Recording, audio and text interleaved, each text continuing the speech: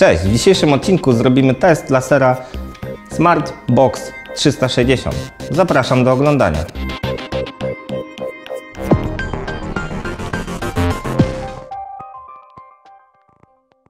Laser Smart przychodzi do nas w takim fajnym ekologicznym opakowaniu. E, Karton posiada tutaj piktogramy, na których pokazane są najważniejsze cechy tego urządzenia. E, Możemy zobaczyć tak naprawdę co jest w środku. Na kartoniku znajdziemy dane techniczne po angielsku, dane techniczne po polsku. Także bardzo fajnie, że takie informacje się znalazły. Jest to taki, myślę, że na dzisiejsze ekologiczne czasy bardzo dobry pomysł na opakowanie. W środku mamy case z laserem. I zobaczmy, co dostajemy po zakupie tego modelu. W case znajduje się instrukcja obsługi, przewód ładujący klasyczny USB na USB-C, taki podstawowy malutki uchwycik z gwintem 1,4 cala oraz opcją zawieszenia na ścianie lub magnetycznie na jakiejś stalowej konstrukcji. Uchwyt wyposażony jeszcze w cztery antypoślizgowe takie gumki, które zapobiegają zjeżdżaniu na metalowej konstrukcji. No i jest sam, sam laserek, do którego przejdziemy za chwilę. Case y, wyposażony jest w taką piankę y, zapobiegającą tutaj jakimś uszkodzeniom podczas transportu, a samo opakowanie jest takie fajne, sztywne. No, nie widziałem jeszcze takiego w sprzęcie pomiarowym, ale w sprzęcie fotograficznym takie coś występuje. Przejdźmy do samego lasera. Laser Smart 360 Box e, swoim kształtem przypomina puszkę Coca-Coli e, 0,33, którą pewnie każdy z Was choć raz w ręku trzymał. Mm, Kształt okrągły, więc ciężko powiedzieć, gdzie jest przód, gdzie jest tył urządzenia, ale przyjmijmy, że tutaj, gdzie jest projekcja linii pionowej, jest przód, na odwrocie jest tył. I tak, z przodu urządzenie posiada jedną diodę do pionu, która skierowana jest prostopadle na ścianę, wyświetlając nam linię pionową. A u góry zabudowana jest y, jedna dioda 360, która stożkowo rozprasza nam płaszczyznę y, na ścianach wokół urządzenia. Obudowa urządzenia zrobiona jest z takiego przyjemnego plastiku. Czarna część jest także plastikowa, y, lekko antypoślizgowa. Na tyle urządzenia znajduje się panel sterujący funkcjami, czyli mamy przełącznik linii, włącznik urządzenia oraz włącznik jasności e, linii, bo to urządzenie posiada możliwość e, przyciemnienia linii, e, jeśli na przykład mamy jakiś taki szary dzień, chcemy troszkę wydłużyć czas pracy na akumulatorze lub to, żeby linia nie była tak intensywna na ścianie, możemy sobie w czterech stopniach wyregulować tą jasność. Urządzenie posiada także blokadę, która zarazem powoduje uruchomienie projekcji linii oraz y, posiada wskaźnik poziomowania w postaci tej diody. Czyli jeśli się wypoziomuje jest zielony, jeśli wychodzi poza skalę linia mruga bardzo szybko oraz dioda zmienia barwę na czerwoną. Jeśli jest w stanie się wypoziomować, świeci się na zielono. Poniżej producent umieścił e, gniazdo ładowania do wbudowanego akumulatora.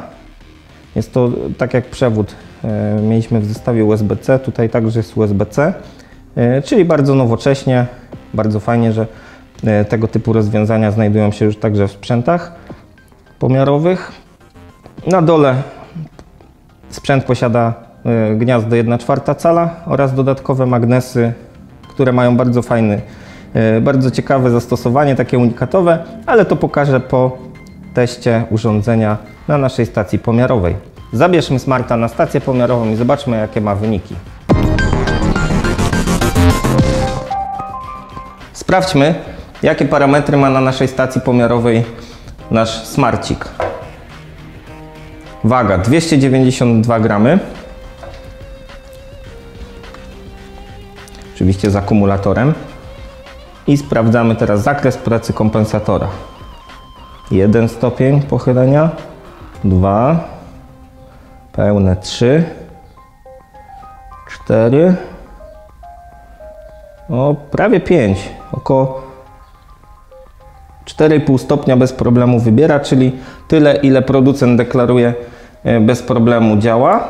I sprawdźmy teraz jakie grube i jakie jasne linie ma to urządzenie.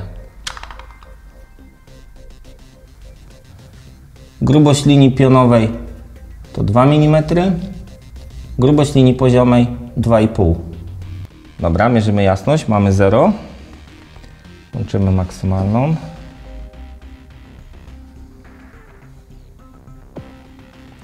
Pozioma linia 16 luksów.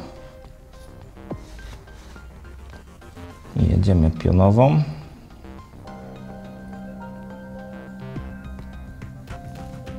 Pionowa linia 29. I sprawdźmy na przecięciu.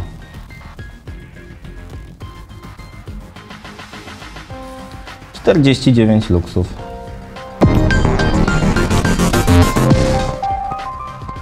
A teraz obiecana ciekawostka. Jak widzieliście, urządzenie posiada na dole cztery magnesy. Góry urządzeń są skonstruowane w ten sposób. I możemy po prostu urządzenia te ze sobą połączyć. Magnesy są bardzo silne, trzymają te urządzenia. Co może być przydatne na przykład jeśli chcielibyśmy sobie wyznaczyć jakiś kąt którego oczywiście tutaj nie jesteśmy w stanie określić, ale jakbyśmy go zmierzyli, to możemy dwie linie pod dowolnym kątem wyświetlać. Od taki ukłon od producenta, taka innowacja, która być może komuś z Was przyda się podczas pracy. Jeszcze jedna istotna rzecz. E, laser Smart Box 360 pracuje z detektorem. Jest tutaj taka mała informacja, wcześniej jej nie zauważyłem, ale jak włączymy urządzenie, przytrzymamy chwilę przycisk od jasności regulacji i użyjemy później detektora, to jak najbardziej rozpoznaje linię. Czyli to urządzenie może pracować także w bardzo jasnych pomieszczeniach, gdzie nie jest widoczna linia, albo na zewnątrz za pomocą detektora.